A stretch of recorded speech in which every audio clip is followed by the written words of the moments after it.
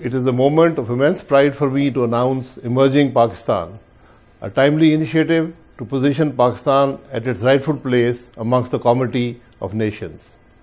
Pakistan is a land of vast potential and countless opportunities, of breathtaking landscapes and hospitable people, of rich traditions and unmatched resilience.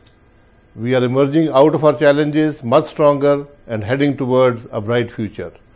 Very soon, we shall be the region's corridor for trade and energy and progress and prosperity. Join me in sharing information about Pakistan with the rest of the world by using the hashtag Emerging Pakistan and play your part in telling the world about your beautiful land.